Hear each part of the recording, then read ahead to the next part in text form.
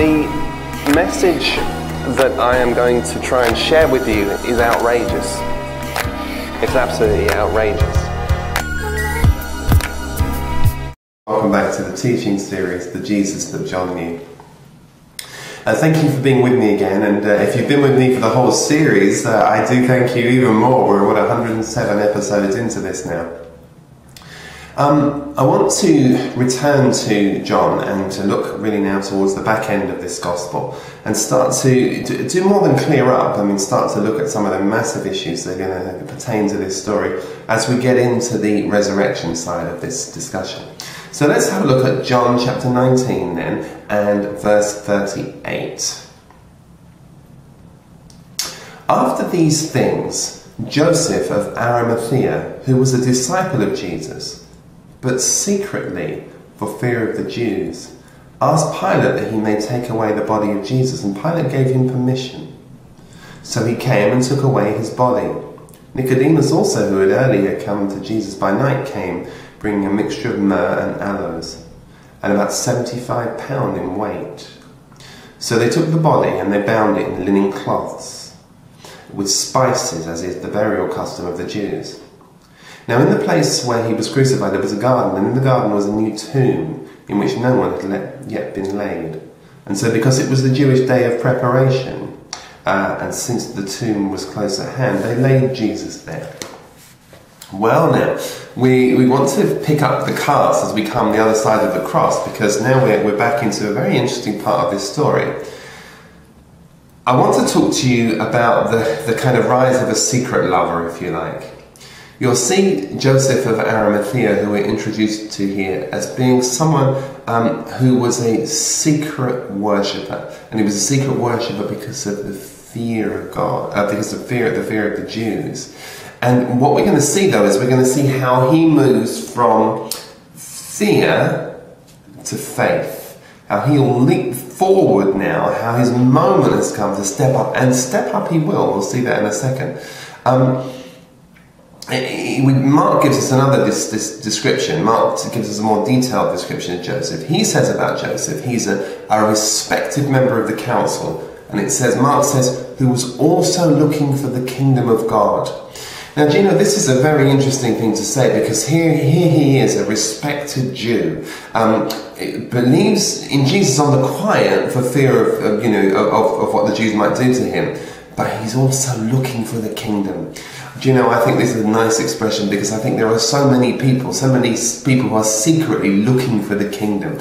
Every one of us has within us eternity. It's in each of our souls, and we're looking for the kingdom. And you know, really, everybody that have found themselves into false religions and all kinds of different strange things that we're so quick to chide people for. The truth is, they're only people that are looking for salvation. That's all they're doing. In the book of Acts, in the is it the 17th or the 18th chapter, 17th, I think, where Paul comes to comes to Athens, uh, and Paul is walking among the, the Athenian people, and he says, you know, I see you are a very religious people, he said. I see you even have a temple, he says. You've even got a temple to an unknown God. And Paul says, this, this unknown God, this one that you worship is unknown. This is the one I worship. Let me tell you all about him. And, and, and he says something very interesting, Paul. I must try and find it for you. Paul says, you know what, in this whole piece, you must understand that God has set this in the heart of men. Let me read it to you what Paul says um, in Acts 17, verse 22. It says, Paul, in the midst of the Areopagus, said, Men of Athens, I perceive you are a very religious people. For, for as I passed along and observed these objects of your worship, I also found an inscription to the unknown God. What the, therefore you worship as unknown, Paul says. This I proclaim to you, the God that made the world and everything in it, Paul says. Uh, Paul goes on to say, Look, let me tell you about him uh, since he himself gives all mankind breath and life and everything, and he made everyone uh, from every nation of mankind to live on the face of the earth, having determined and allotted the periods and the boundaries of their dwelling place. Paul says that they should seek God, watch this, in the hope that one day they might feel their way toward Him and find Him. So we have this picture of, of this a world of people that are kind of groping, the, blindly, if you like, moving towards him to try and find him, feeling faces and shapes and, and experiencing spiritual things, if you like, moving their way. it, it, it is really quite an extraordinary image. And he says, But yet, this God that you're seeking, Paul says, he's not far from you. Indeed, in him we live and breathe and have our being, as you Greeks are fond of saying. It's an amazing mystery. And here we have this lovely description of Joseph, Joseph of Arimathea. And he is, he, he, he, he's, he's, he's, he's been a secret lover. But now he's breaking forth. Now the fear that once bound him, now he sees his opportunity and he's got to go for it. Now remember, courage isn't the absence of fear, not at all. Courage is the acknowledgement of fear, is the acceptance of it, and yet moving forward anyway, being, being prepared to go forward. Um, Luke says that he's a good and righteous man. Um, and he said that in Luke's case, he said he hadn't consented to the decision and their action because he was a man that was looking for the kingdom of God. So while there was all this furore going on around, while there was all this, you know, screaming and shouting to get him, no, he wasn't part of that. He couldn't countenance that. And watch this. Let's go back to the text because we, this surely ought to leap off the page to us by now. Who does he come with? He comes with no, none other than Nicodemus. Now that should speak volumes to us because we, first of all, it says, let's read it again. Um, he says, and he came with, and after these things, Joseph of Arimathea, who was a disciple of Jesus, but secretly for fear of the Jews, asked Pilate that he might take away the body of Jesus. And Pilate gave him permission. So he came and took the body away. Um, Nicodemus, who had earlier come to Jesus by night.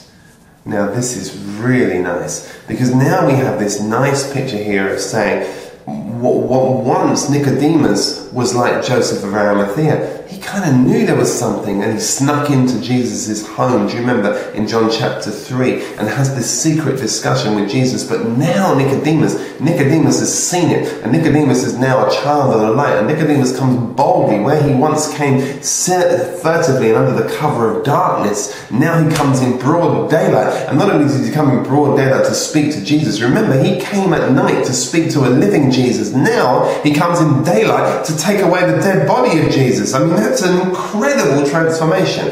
And he comes, I think, symbolically, I feel, he comes almost as if he's one of the wise men, because look what he comes, comes and brings with him. He comes bring with him myrrh and aloes. And I think there's that lovely sense of the, as the king, as the, as the wise men came to visit Jesus at his birth, so now the wise men come to deal with Jesus in his death. And I think that's really very, very lovely.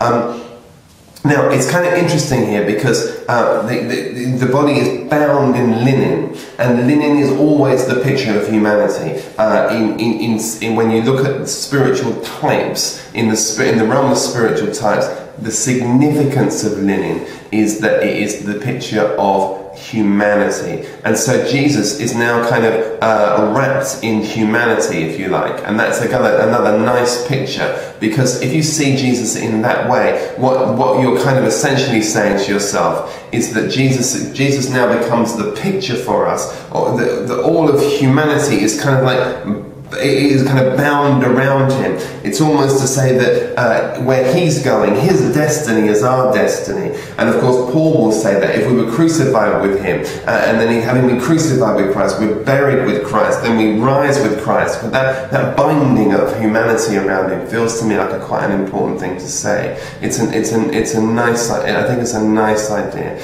There's something that seems to me to kind of step across from this sort of um, the, the terrestrial to the celestial, if you like. I think it's kind of quite a nice idea. Um, but he's bound in there. Now, uh, what happens next? Well, what happens next is, as we come to this, let's jump back in the story. Um, sorry, I, I, to get carried away. These stories fascinate, fascinate me. Um, so he's taken away, and he's taken away to this new tomb, and I think that's quite important. Um, no one had ever been laid there, uh, and so he's laid in the garden tomb. I, I, don't know, I just feel maybe this is another picture of Jesus' last Adam, because of course, where do we discover this whole of creation begins? It begins in the garden. So where's the new creation going to begin? In the garden. And so you've got this picture picture, haven't you? Of and I think the scene's really nicely set for this. That you've got this picture set up of Jesus as last Adam laid in the Garden of Eden, uh, and, and he's wrapped in this linen. Now remember that Adam was hidden in the garden, and he had wrapped around himself these coverings, and it just it just feels to me like the story's getting bookended. It feels to me like the story's kind of really beginning to kind of make some make some sense to me.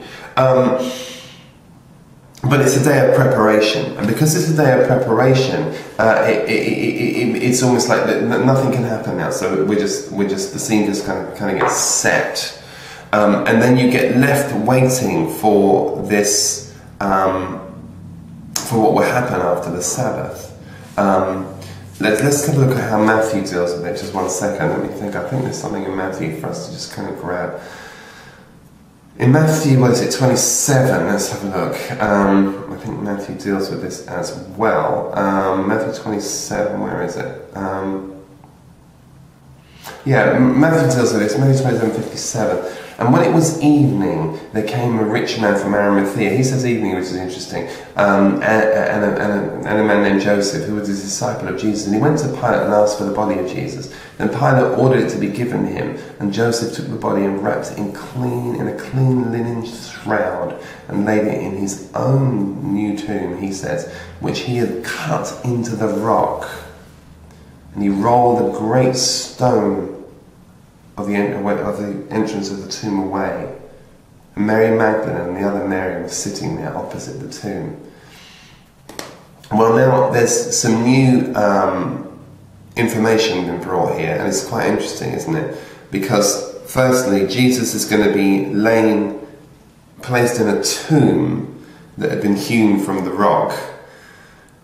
And again, one senses Exodus, one has the imagery of Christ as the rock. And he's placed inside himself.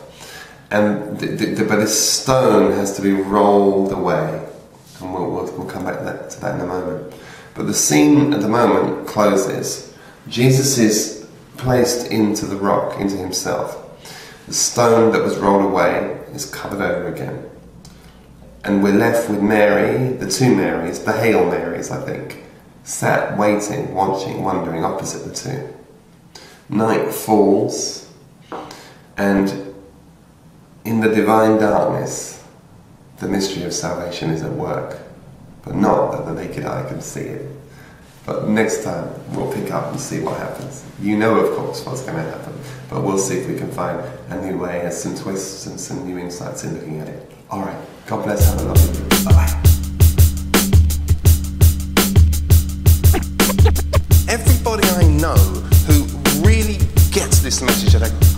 level has been to hell and back.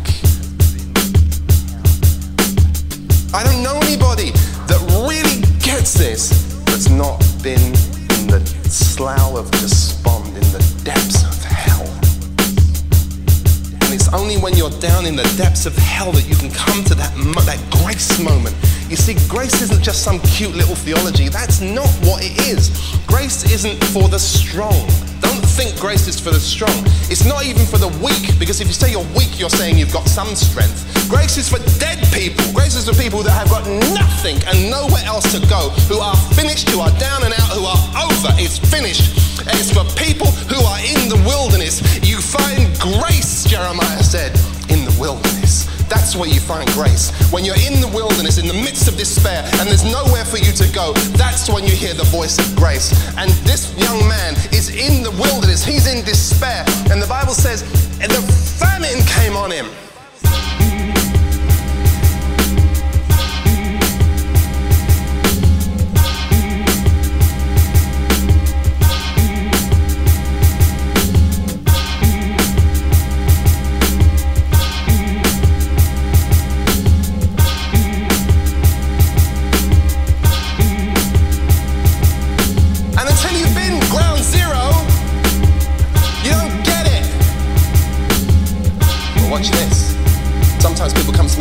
Struggling. I'm going. I'm thinking, no, you're not you're not struggling, you're not there yet. Because I know full well that when somebody's sinking, they've got to hit the bottom. Because when they, they, they can only when they hit the bottom, they can get some traction and spring back up again. But you gotta hit the bottom. But the problem is you don't know how deep your self-reliance gets.